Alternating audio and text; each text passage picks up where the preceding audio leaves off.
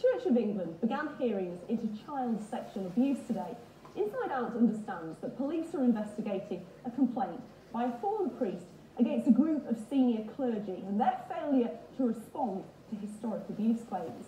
Matt Ineson from West Yorkshire says he was ignored when he disclosed his abuse by a parish priest in Bradford as a young boy. I went to meet him. Chef Supply.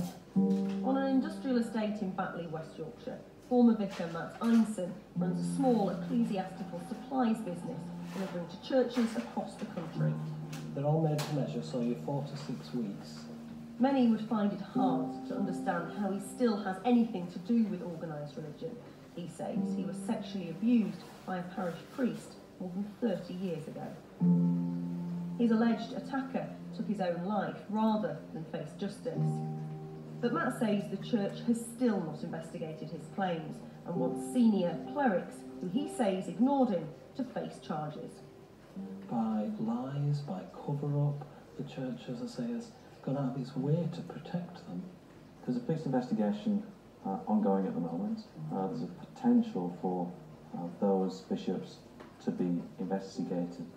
Decades after Matt says the abuse took place, and there's still no independent inquiry. And Inside Out has found evidence that the church appeared to know that Matt wasn't the only alleged victim of the same priest. Back in 1984, Trevor Diva was vicar of St Aidan's Church in Bradford. There was a complete family breakdown. My nan, who was uh, my uh, carer, I suppose, looked after me, brought me up. She turned to the church for help. Matt, as a troubled 16-year-old, was sent there to stay alone with him at the vicarage. That night he came into my room um, and put his hand under the duvet um, and started to try and uh, uh, sexual things. And he said to me, does that not interest you? And I said, no. And he got up and left. And the second night he did exactly the same thing again. And then it became, over time, he, he sort of said that I had to do what he wanted, otherwise I would be put me out and I'd be out onto the streets. And the abuse got worse. You say it got worse. It, it, he raped you, Yes, several times over several um, weeks, about a three-month period. It took you decades to come forward and talk about it, didn't it? I didn't see my family for seven years after that.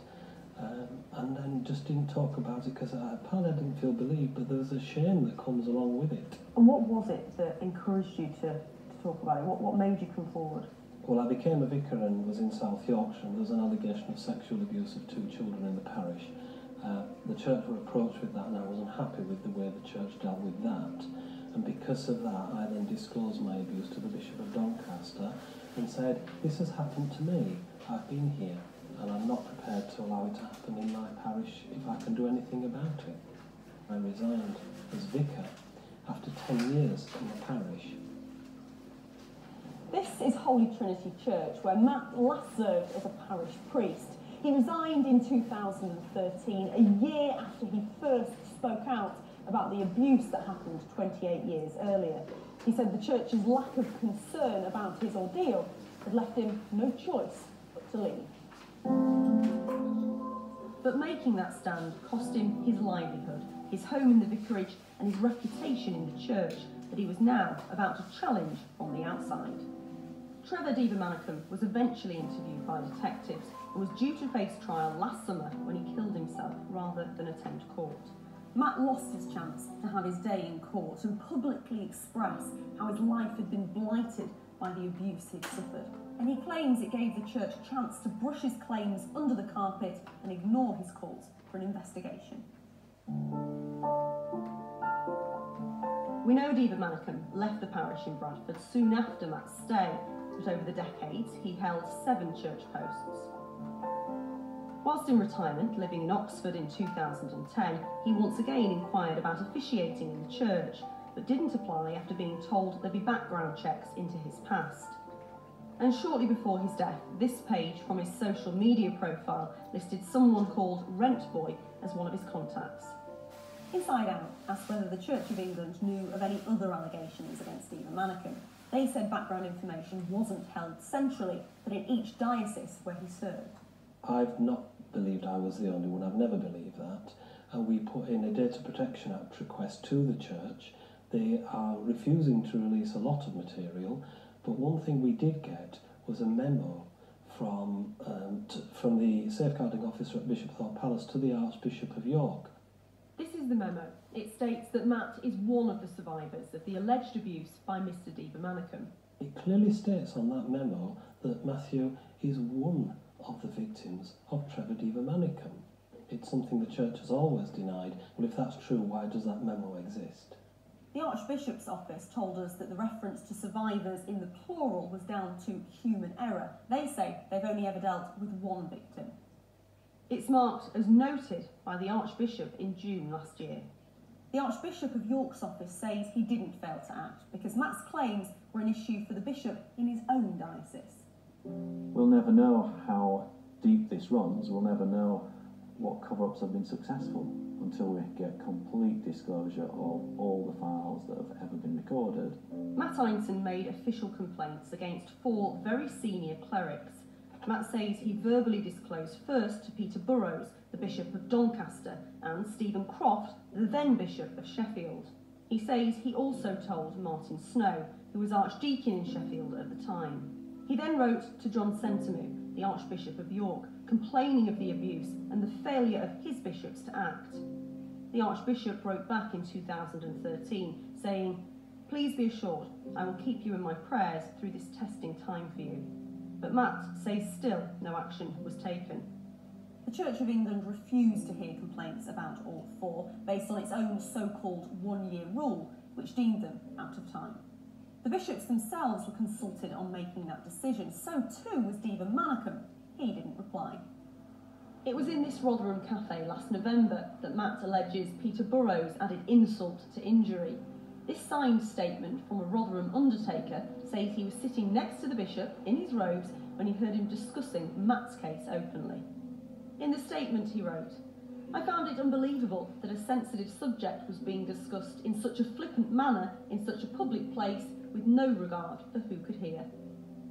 In a statement on behalf of Bishop Peter Burrows, the diocese expressed regret for not offering Matt better protection and support. They said Matt's complaint against Bishop Burrows was a matter of dispute and they were unable to comment further at this time. Frustrated by the church's response, Matt began to demonstrate outside church meetings. He called for resignations and a police investigation into senior clerics. This is how the church reacted. I was asked by the very senior judge who was hearing the complaint um, for my views, so I was asked to give evidence basically to that judge, as indeed the other bishops were. Um, the judge weighed up that evidence and he uh, decided there was no case to answer. Matt then complained to the church that Martyn Snow lied in this TV interview and that this amounted to misconduct. The church's response came from the very top. The Archbishop of Canterbury, Justin Welby, concluded that the bishop's account is not a very accurate representation of the process and might have misled. He said a live broadcast gave no opportunity to reflect on the accuracy, even though the interview was recorded. The Archbishop wrote, I will speak to the Bishop about the need for accuracy during public engagement. Matt has appealed against the Archbishop's dismissal of his complaint. The head of safeguarding for the Church of England appears to have some sympathy for Matt. The Bishop of Bath and Wells, Peter Hancock, wrote to him admitting that his treatment had been shabby and shambolic. Matt spent nearly 10 hours giving a statement to a detective at the Sheffield police station. Inside Out understands the investigation, sought advice from the Crown Prosecution Service before suing inquiries. Matt has now finalised his statement, and interviews with senior church figures could now follow. Six years since Matt first spoke of his abuse, he's still waiting for an apology from the church and changes at the top. Doesn't look like they're willing to do this voluntarily. So it looks like, as a result of the national inquiry that's going on, um, there may be legislation that forces them to do it eventually, but that's going to take two or three years. The church cannot be trusted to do its own safeguarding. It covers up and manipulates and colludes with the abuse. Matt and fellow survivors hope the next three weeks of evidence to the National Abuse Inquiry will help the Church to deal with future claims in a more transparent and compassionate way.